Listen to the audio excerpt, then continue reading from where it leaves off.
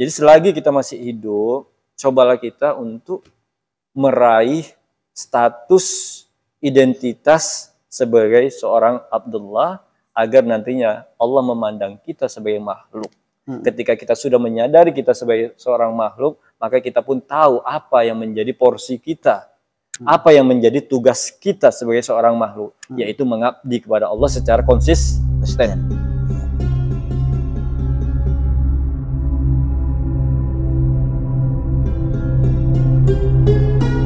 Assalamualaikum warahmatullahi wabarakatuh. Alhamdulillah, Ikhwan al Fiddin. Kembali bertemu bersama kami Muhtalifun Alwan.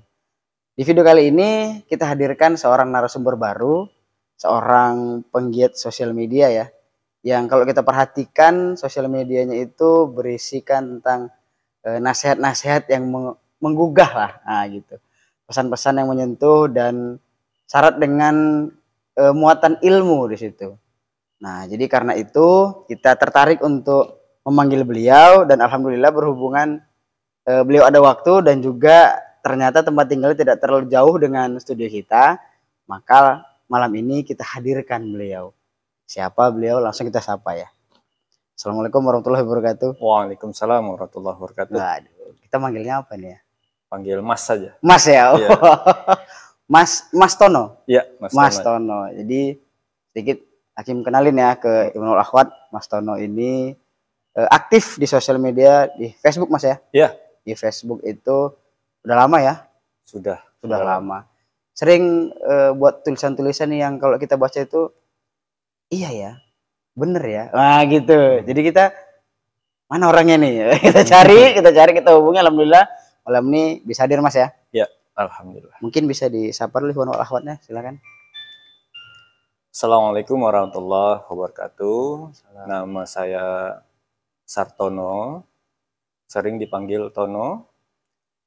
Saya sering di sosial media menampilkan tausiah dan saya membuat grup sendiri di tausiah itu dengan nama tau tausiah dalam kebenaran.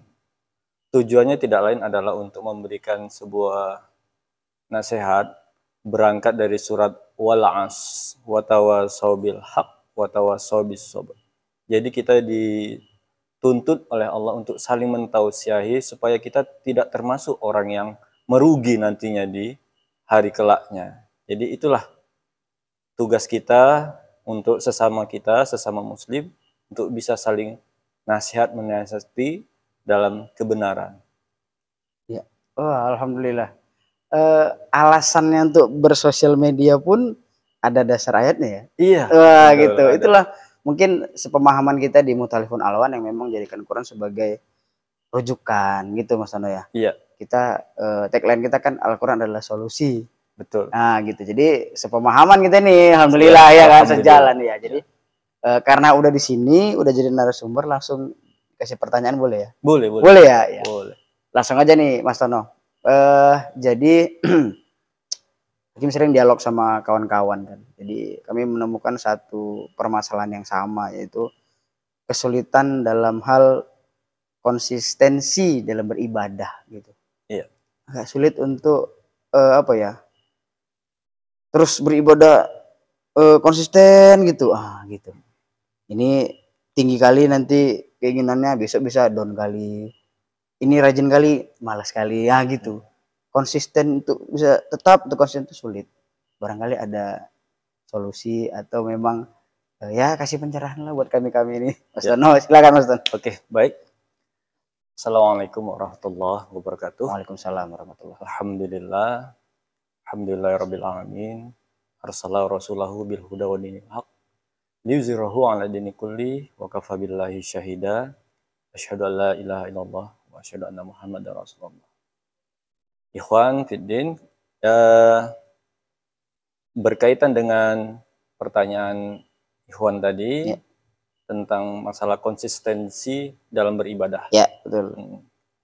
Sebenarnya kalau saya ditanya, saya melihat itu ada pada kesadaran kemahlukan. Kesadaran kemahlukan. Iya, kesadaran kemahlukan.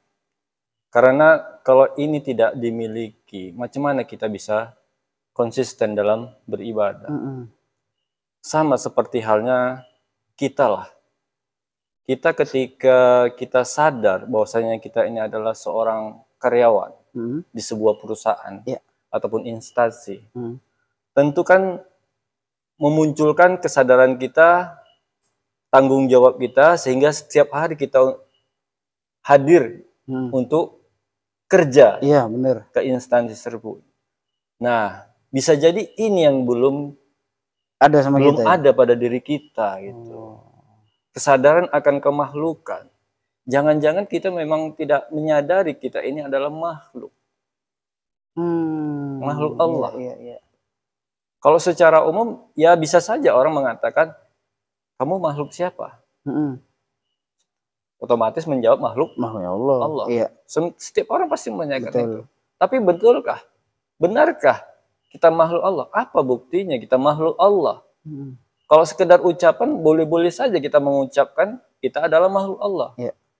Kita mengaku makhluk, Makhluk Allah. Allah. Hmm. tapi apakah apakah Allah mengakui kemakhlukan kita? Oh. Nah, Apakah mungkin Allah mengakui kemakhlukan kita sementara kita sendiri tak mem- membuktikan lewat kerja? Hmm. Iya, betul. Ibadah salah satu bentuk kerja ya. Ibadah satu di antara bentuk kerja. Iya. Nah, jadi dalam hal ini kalau saya ditanya itulah penyebabnya sehingga Hmm. kita sulit untuk konsisten dalam beribadah. Makanya untuk lebih enak lagi Hmm. kita bahas lafaznya di surat enam. Oh, cukup, cukup familiar nih ayatnya. Yeah. Az-Zariyat kalau nggak salah. Iya, ya. surah eh, Az-Zariyat. Betul, betul, betul. Az-Zariyat ayat 56. Jadi kalau kita lihat, kita buka di dalam Al-Qur'an. Di surat tersebut dikatakan wa ma kholaktul jinna ya. wal insa. Yeah. Ada lafaz ma hmm. di ayat tersebut. Kalau dalam bahasa Arab, ma itu fungsinya sebagai nafi. Hmm. Allah menafikan Ya. Ya, Allah menafikan keberadaan jin dan Manusia. manusia. Kenapa dinafikan Allah? Hmm. Padahal jin dan manusia itu kan makhluk Allah kan? Iya, benar. Tapi kenapa dima- di- dinafikan Dinafikan. oleh Allah? Hmm.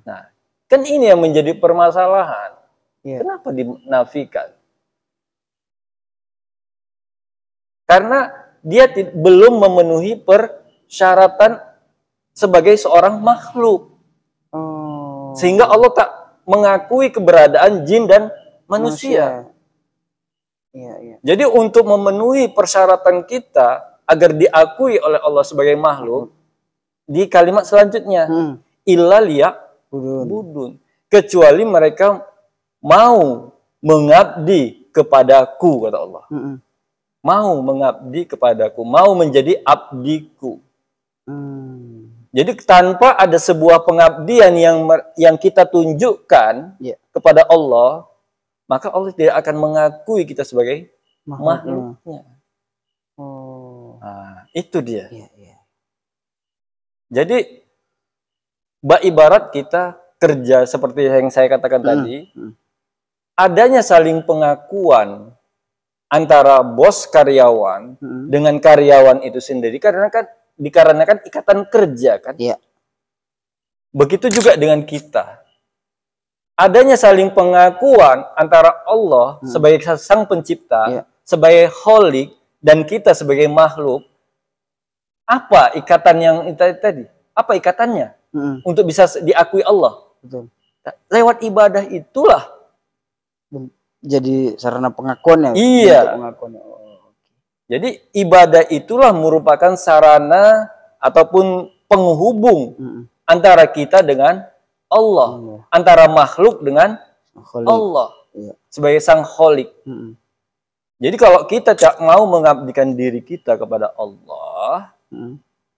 maka Allah pun tak akan mengakui diri kita sebagai mah Makhluk. makhluknya.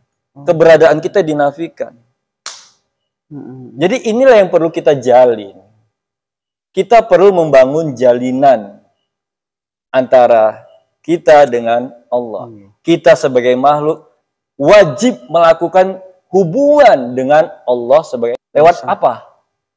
Ibadah, lewat ibadah, pengabdian. pengabdian kepada Allah. Itulah cara kita untuk menjalin sebuah hubungan tadi. Mm-mm. Lewat kerja di perusahaan tadi. Iya, Nah, sehingga kita tetap terjalin hubungan dengan bos. bos perusahaan tadi. Kita pun dianggap karyawan sama Kita bos. pun dianggap karyawan oleh bos. Iya, bos betul. pun menganggap kita sebagai karyawan. karena kita kerja. Karena kita kerja. Oh iya iya dapat analoginya. Nah, Pas. jadi Allah pun mengakui kita sebagai makhluk dan kita pun menyadari kemakhlukan kita sehingga Iya. kita mengabdikan diri kepada Allah. Iya. Nah, jadi jalinan ibadah inilah yang menghubungkan kita dengan Allah. Mm-mm. Jadi Al- Allah Al-Khaliq, kita makhluk. Nah, ketika makhluk tadi menjalin hubungan dengan Allah lewat ibadahnya, maka itulah cerminan kita sebagai makhluk tadi. Muncullah akhlak. Karena Oh. kholik, makhluk, dan akhlak itu satu akar kata. Jadi seorang makhluk apabila tidak mau mengabdikan diri kepada Allah, maka dia se- bisa dikatakan makhluk yang tak punya akhlak. Oh iya iya iya. Betul, Ah, betul, betul. Jadi makhluk yang tak punya akhlak Karena dia Jadi, mau beribadah. karena dia tidak mau beribadah. Hmm. Akhlak kita tercermin lewat ibah, ibadah. ibadah. Semakin bagus ibadah kita, Iya. maka semakin bagus akhlak, Akhlak, yang iya. kita tampil tampilkan. Semakin baguslah akhlak kita di mata Allah. Berarti kalau kita malas-malasan ibadah itu cerminan dari akhlak kita. Iya. Berarti akhlak kita tidak bagus di hadapan Allah. Di mata Allah Oh, iya, akhlak iya, kita iya. sang- tidak bagus. Gitu ya. Sama seperti halnya kita kerja tadi. Iya iya. Kalau seandainya kita bermalas-malasan kerja, macam macam mana penilaian bos tadi Oh, terhadap iya, diri betul. kita? Betul betul betul betul. Minus juga Minus, penilaiannya. kan? Iya betul betul. Bonus pun bahkan tidak Iya betul. bahkan tidak dapat. Gak dapat simpatik bos lah. ya. Tidak dapat simpatik bos, bonusnya pun tidak Gak dapat. nggak Iya dapat. betul. Kalau kita rajin, gaji dapat, bonus dapat. Hubungan pun pasti kurang bagus tuh. Hubungan pasti kurang bagus kalau kita tidak beribadah dengan Iya. baik. Kalau tengok akhlaknya ah, kurang ini. Nah, Iya. Kurang serak bos. Jadi pun untuk dia apa ya istilahnya jalin hubungan bagus sama kita jadi kurang serak dia. Iya, pasti itu. Gitu berlaku juga sama kita makhluk ke Allah. Iya, betul. Itu berlaku juga hubungan antara kita dengan Allah. Hubungan kita sebagai makhluk dengan Allah itu juga akan berpengaruh. Gitu. ya. Jadi- eh, gini Mas Tono, Jina dipotong.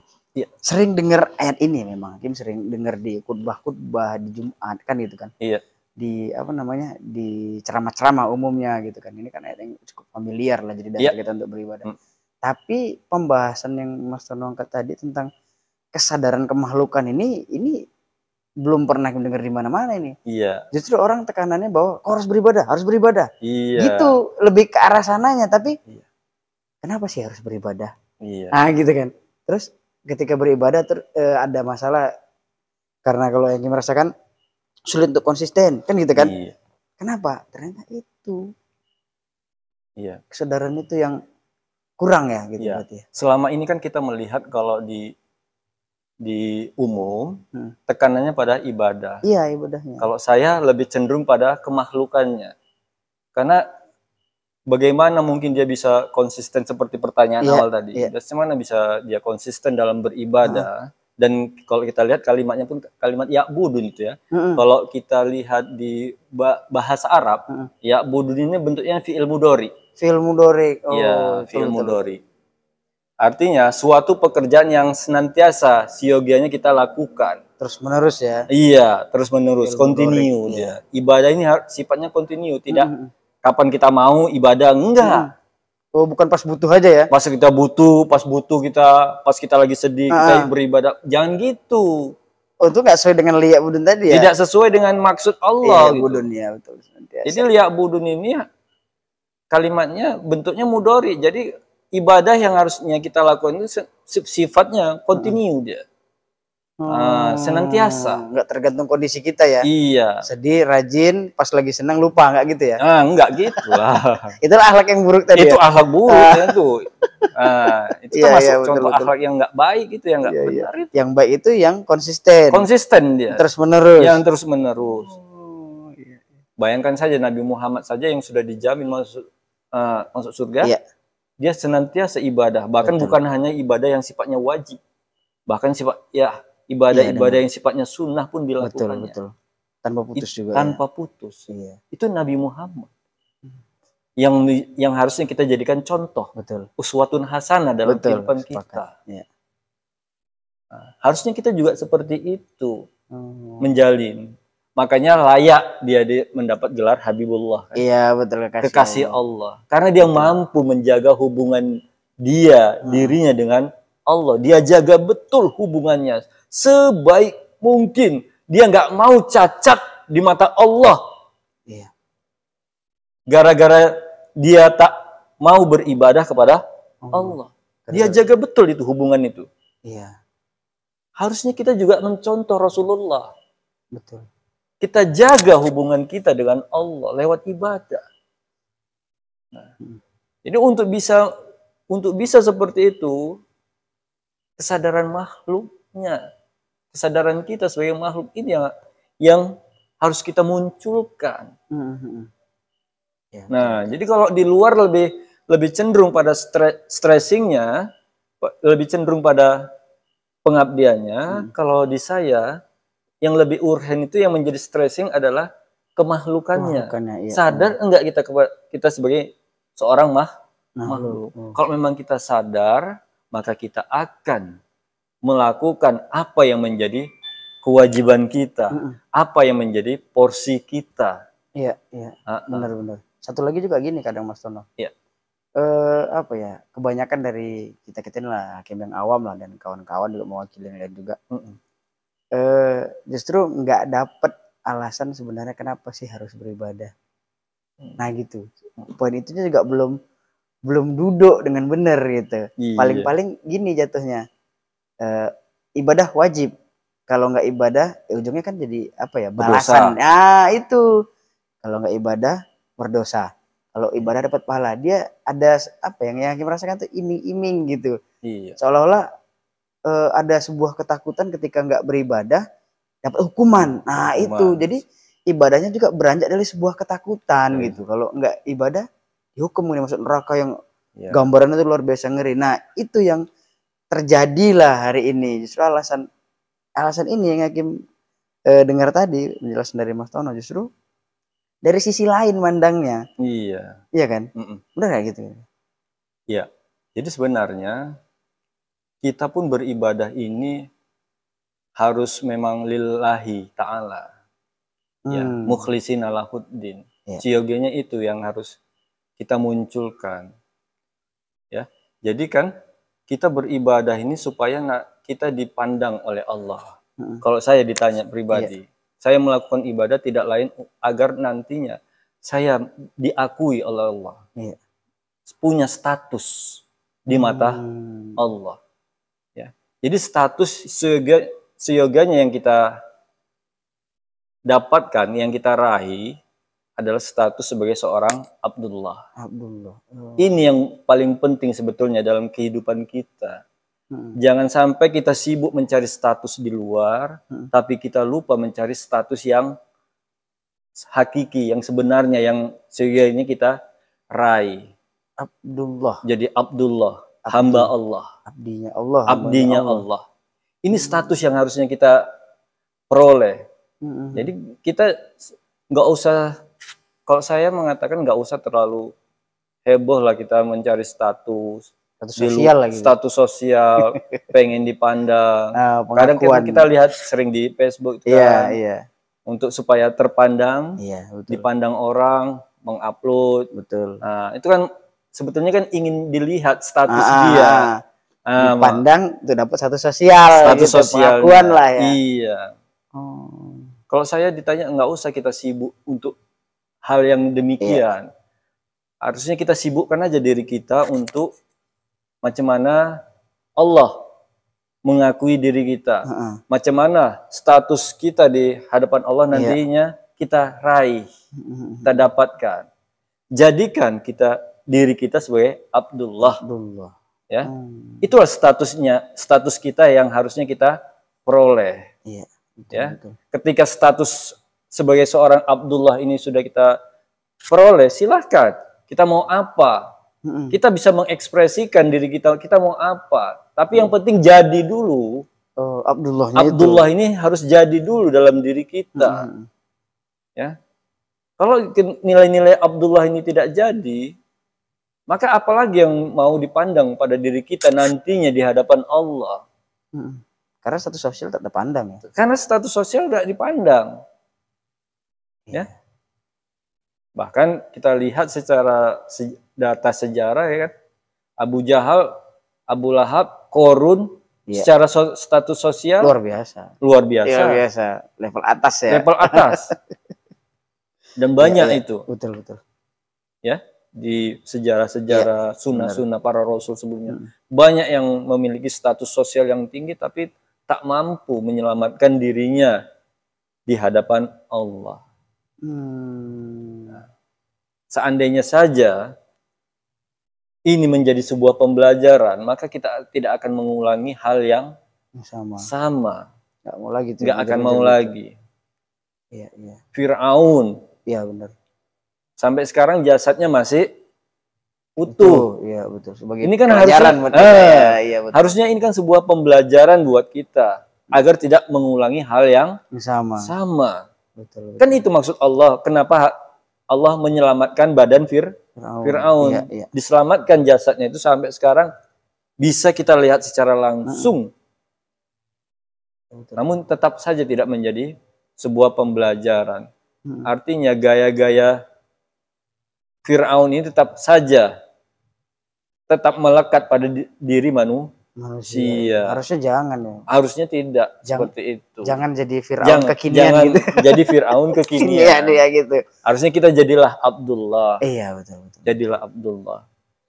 Tetap menjadi Abdullah yang rendah hati, Iya. ya kan? Tidak meninggi Mm-mm. seperti Fir'aun, sikapnya meninggi Mm-mm. dengan mengatakan ana rabbukumul a'la. Mm-mm. Aku inilah Tuhan yang paling tinggi. Iya. Jadi sikap itu kalau Allah bilang itu togo. Tahu. Innahu togo. Dia sudah melampaui bah. Melampaui batas. batas. Sikap yang seperti itu sudah melampaui batas. Dan kalau bisa kita menghindari hal-hal yang demikian. Iya, mendekati Gitu. menjurus ke sana pun kita cut ya. Kita Jangan. kan Udah ada pelajarannya ini. nggak Jangan ada jangan pelajarannya. gitu. Oke. Jadi status sebagai Abdullah inilah harus kita raih agar nantinya kita dipandang oleh Allah, kita diakui oleh Hmm. Allah. Kalau seandainya kita bicara stab, status, Status ini ya, ya. Hakim punya orang tua, Alhamdulillah. alhamdulillah masih hidup sampai Masih sekarang. ada. Iya.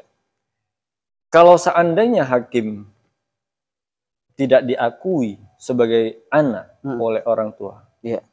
apa yang hakim rasakan? Ya, sedih lah. Sedih, Sedih. kecewa, Kecewa. Iya kan? Marah juga. Marah. Kenapa aku dilahirkan Ya, tapi nggak diakui. tapi nggak diakui? Iya, iya. Nah, bayangkan nanti di yaumil kiamah, Ya. di akhirat nanti, Hmm. kita tak diakui oleh Allah Oh. sebagai makhluknya. Bagaimana perasaan kita? Kurang lebih gitulah juga rasanya. Kurang lebih sama seperti Iya. yang kita rasakan kalau kita tidak diakui oleh orang tua, ya. orang tua tadi kan. Iya. Kita sedih, marah, marah terhadap siapa? Marah terhadap diri, Diri kita sendiri, sendiri. benar. Kenapa dulunya kita tak mau mengabdikan diri kepada Allah sehingga akhirnya hari ini di akhirat ini aku tak diakui oleh Allah. Iya. Banyak nanti di sana manusia menyesali. Hmm. Kalau bisa pun kasihlah waktu ya Allah Iya, sedikit saja kembali ke dunia untuk bisa mengabdi kepada Iya. Allah, bisa bersedekah, bisa berinfak, bisa beramal soleh. Banyak kan gitu? Iya, benar. Ada kan ayatnya itu? Ada. Itu saking kesalnya dia terhadap dirinya sendiri, marah dia dengan diri sendiri karena tak diakui oleh Allah di sana. Jadi kalau Allah sendiri sudah tak mengakui, tak memandang, maka sudah pasti tempat kita Iya, benar. Nah, Udah sama-sama tahu so sama-sama tahu kita kan. tahu di mana. Allah tak lagi memandang. Dah, tinggi kau sana. Hmm, manfaatkan berarti waktu Nah. selagi masih di sini. Iya, Karena ketika Jadi di sana selagi kita- berlaku lagi. iya. Jadi selagi kita masih hidup, cobalah kita untuk meraih status identitas sebagai seorang Abdullah agar nantinya Allah memandang kita sebagai makhluk. Hmm. Ketika kita sudah menyadari kita sebagai seorang makhluk, maka kita pun tahu apa yang menjadi porsi kita. Hmm. Apa yang menjadi tugas kita sebagai seorang makhluk, Hmm. yaitu mengabdi kepada Allah secara konsisten. Iya. Itu Jadi- stressingnya. Jadi itu dia stressing. jadi stressingnya di situ dia. Di surat Az-Zariyat ayat 56 ini stressingnya pada kemakhlukan. Hmm. Oke. Eh, jadi apa ya dari obrolan gini Hmm. terjawab bahwa ternyata memang tulisan-tulisan itu bukan kopas dari Google. Bukan. Mungkin ya. Kita buktikan langsung Iya. kan gitu kan. Karena kalau kan- orang yang ya sekarang kan siapa aja bisa buat Iya. status-status yang bagus segala macam itu kopas dari Google kan gitu kan. Iya. Nah, ini ketika dakwah kok agak lain jadi kita buktikan ini kita panggil kemari kan gitu. Iya. Jadi buat yang mungkin sering buat status-status ceramah hati-hati nih. ya memang buktikan, mungkin ya. mungkin sebagian orang menyangka memang mungkin menyangka memang eh, saya buat tausiah itu berangkat dari kopi sana kopi Iya. mungkin lah. Ya itu sah-sah saja boleh-boleh Nah, aja ya boleh-boleh silakan saja. aja.